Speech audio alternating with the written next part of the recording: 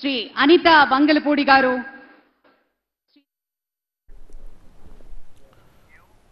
Right సమయం పదకొండు పన్నెండు నిమిషాలైంది. ఒక five minutes back prime minister Modi land అయిన విజువల్స్ని గన్నవరం ఎయిర్పోర్ట్ నుంచి మనం చూస్తున్నాము. స్క్రీన్లో మీరు నాకు రైట్ సైడ్ విజువల్స్లో మీకు రైట్ సైడ్ విజువల్స్లో చూస్తున్నారు. ప్రత్యేక విమానంలో ప్రైమ్ మినిస్టర్ ల్యాండ్ అయిన దృశ్యాలవి. సో గవర్నర్ అబ్దుల్ నజీర్ అలాగే సిబిఎన్లో ఇద్దరు కూడా ప్రైమ్ మినిస్టర్కి ఘన స్వాగతం పలికారు ఎయిర్పోర్ట్లో ఉండి. సో ఇంకొక ఐదు నిమిషాల్లోనే వాళ్ళు సభా ప్రాంగణం కేవలం ఒక వెయ్యి మీటర్ల దూరంలో ఉన్న సభా ప్రాంగణానికి చేరుకుంటారు. పదకొండు ఇరవై ఏడుకి షెడ్యూల్ ప్రకారం ముఖ్యమంత్రిగా చంద్రబాబు నాయుడు ప్రమాణ స్వీకారం చేస్తారు. ప్రైమ్ మినిస్టర్ ల్యాండ్ అయిన దృశ్యాలు మనం చూస్తున్నాము. చూస్తూ ఉన్నాం. నిజాయితీ కలిగినటువంటి మూర్తుల్ని చూస్తూ ఉన్నాం. కరుణామయ హృదయం ఉన్నటువంటి నేతల్ని చూస్తూ ఉన్నాం. సేవా తత్పరతే జీవలక్షణంగా వెలిగినటువంటి మా వెంకయ్య నాయుడు గారు కావచ్చు అమిత్ షా గారు కావచ్చు నితిన్ గడ్కరీ గారు కావచ్చు. ఈ వరుసలో చూసుకుంటూ పోతే అటు మన చిరంజీవి గారు మన రజనీకాంత్ గారు మన బాలయ్య బాబు గారు ప్రతి ఒక్కరూ కూడాను విశేషమైనటువంటి రీతిలో సేవ సేవ అనే రెండు అక్షరాలకి కట్టుబడి ఉన్నారు. ఎంతెంత స్థాయికి వెళ్ళినా దాన్ని మరువలేదు. తమ ప్రజల కోసం అడుగడుగున తపన పడే దార్శనికులుగా సమకాలీన రాజకీయ వ్యవస్థలో అరుదైనటువంటి మానవీయ కోణాలుగా వజ్ర సంకల్పంతో పని చేసేటువంటి వాత్సల్య మూర్తుల్ని చూస్తూ ఉన్నాం.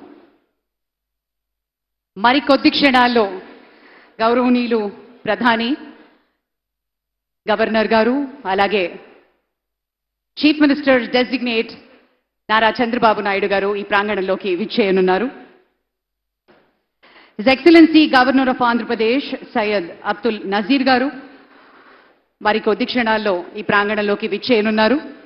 చీఫ్ సెక్రటరీ గారు విత్ ఇస్ కైండ్ పర్మిషన్ సభా కార్యక్రమాన్ని ప్రొసీడింగ్స్ని కొనసాగిస్తారు. దానికి మరికొద్ది క్షణాల్లో మన గౌరవనీయులు ముఖ్య అతిథులు ప్రధాని ఈ వేదిక మీదకి రానున్నారు. ఆ వెంటనే కార్యక్రమం ప్రొసీడింగ్స్ని చీఫ్ సెక్రటరీ గారు కంటిన్యూ చేస్తారు. పెద్దల్ని గన్నవరం ఎయిర్పోర్ట్లో స్వాగతించి మన గవర్నర్ గారు మన కాబోయే ముఖ్యమంత్రి శ్రీ చంద్రబాబు నాయుడు గారు ఇక్కడికి విచ్చేస్తూ ఉన్నారు. నిమిషాల వ్యవధి మాత్రమే ఉంది పెద్దలారా.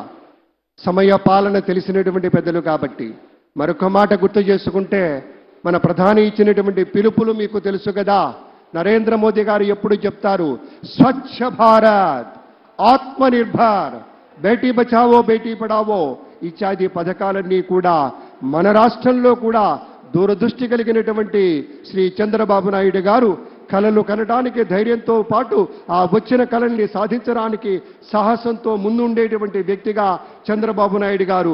ప్రపంచంలో వచ్చినటువంటి ఐటీ విప్లవ ఫలితాలు తెలుగు జాతికి అందాలని మొట్టమొదటగా అంచనా వేసి ఇవాళ హైదరాబాద్ మహానగరం ఒక ఐటీ హబ్గా ఉంది అంటే కారణం చంద్రబాబు నాయుడు గారని చెప్పుకోవాలి. అలాగే ఆయన ఒక మహాస్వాప్నికుడు. మహాస్వాప్నికుడు ఆకలి లేని దేశాన్ని కలలు కంటాడు. కేవలం ఉన్నత స్థితికి వెళ్ళాలి. నేను సంపాదించుకోవాలి నేను ఎదగాలన్నది కాదు. ఆకలి లేని దేశాన్ని చూడాలి. ఆకలి లేని దేశాన్ని కలలు కనాలి.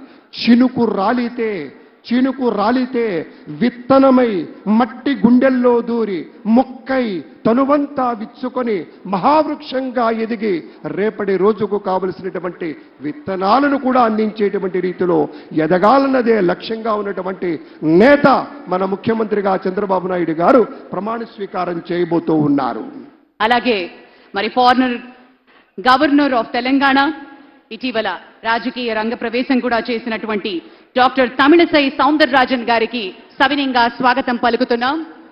మేడం గారికి చాలా ప్రత్యేకమైనటువంటి స్వాగతం అమ్మా డాక్టర్ తమిళసై సౌందరరాజన్ గారు తెలంగాణ రాష్ట్రంలో గవర్నర్గా ఉన్నా కూడా మన మీద కూడా అవ్యాజమైనటువంటి అనురాగం ప్రేమ వాత్సల్యం కరుణ ఉన్నటువంటి తల్లి ఆ తల్లికి స్వాగతం పలుకుతూ ఉన్నాం. అలాగే ఇప్పుడే చెప్పుకున్నాం ముఖ్యమంత్రి గారు కాబోతున్నటువంటి నాలుగవ మారు ముఖ్యమంత్రిగా ప్రమాణ స్వీకారం చేయబోతున్నటువంటి శ్రీనారా చంద్రబాబు నాయుడు గారి గురించి.